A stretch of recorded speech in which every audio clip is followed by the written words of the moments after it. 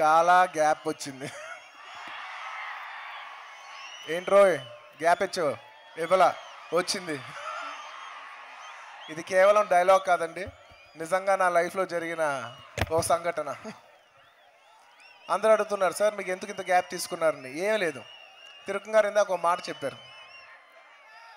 నేను లాస్ట్ మూడు సినిమాలు సరైనోడు డీజే మాట్లాడిని బ్రదర్. సరైనడు డీజే నా పేరు సూర్య. ఈ మూడు సినిమాలు అయిన తర్వాత నాకు ఒక కోరిక వచ్చింది. ఏ సినిమా చేసినా ఒక సరదా సినిమా చేయాలి. నెక్స్ట్ ఏ సినిమా వచ్చినా ఒక సరదా సినిమా చేయాలి. చాలా బ్రీజీగా ఉండాలి చాలా ఈజీ ఈజీగా ఉండాలి. సో అలాంటి సినిమా చేయటం వల్ల కొంత ఎన్ని కథలు విన్నా నాకు సుఖం వచ్చేది కాదు. సో అలాంటి కథ సెట్ అవడానికి తిరుకుం గారు ఖాళీ అయ్యి మేమిద్దరం కలిసి ఒక కథ అనుకుని చేసి అవటానికి ఇంత టైం పట్టింది. అందుకే ఇంత గ్యాప్.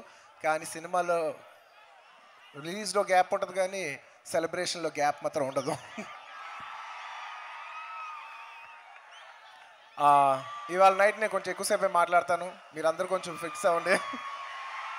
ఎందుకంటే చాలా గ్యాప్ వచ్చింది కదా చాలా విషయాలు మాట్లాడాలి.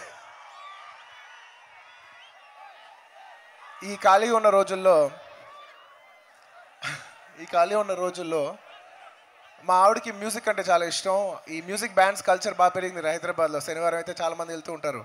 సో తను కూడా నన్ను రమ్మంది. నాకు కొత్తలో ఫస్ట్లో కొంచెం ఇంట్రెస్ట్ ఉండేది కాదు కానీ ఖాళీగా ఉన్న మొగుడు ఎంత సైలెంట్గా ఉంటే అంత సేఫ్ ఇది చాలా మందికి బాగా కనెక్ట్ అవుద్ది. అది నాకు తెలుసు. సో ఎక్కువ మాట్లాడకుండా ఆవిడ వెనకాల తల ఉంచుకుని వెళ్ళిపోయేవాడిని.